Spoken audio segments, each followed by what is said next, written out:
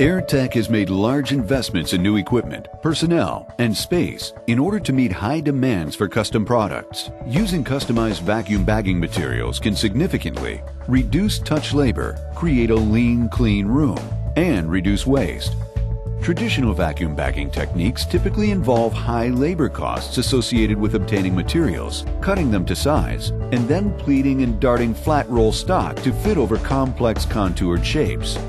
Producing a composite part with these techniques requires skilled layup technicians who are in high demand as the industry grows. Additionally, traditional vacuum bagging involves significant material usage. These factors all add up to cause high cycle times and more high costs.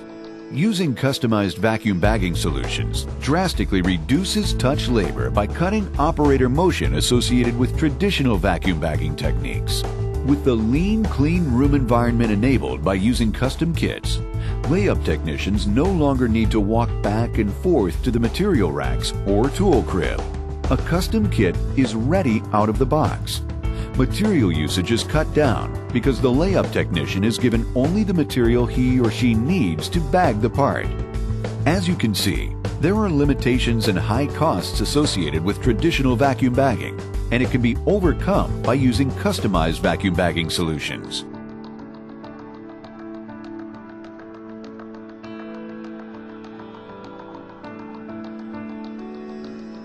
Contact an AirTech sales representative today or log on to our website at www.reducetouchlabor.com